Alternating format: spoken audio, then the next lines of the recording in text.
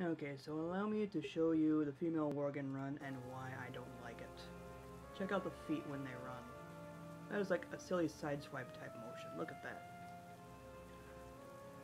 And worst of all, walking backwards is really no different, but ugh, what is that?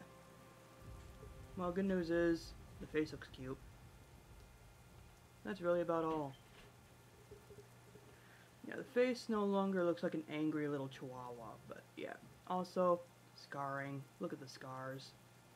That's pretty cool. So yeah. We got scarring on the face, which is pretty cool. I chose yellow glowing eyes, but it just looks like she's got yellow makeup on. And, uh, yeah. I mean, the hair looks a little bit more like hair and not like wiry strings or worms or something, but yeah. And, um, yeah, you can actually see fur texture on her chest there, too, which is pretty cool, but yeah. Main thing I don't like is the run cycle, which is just weird looking. But yeah. That's about it.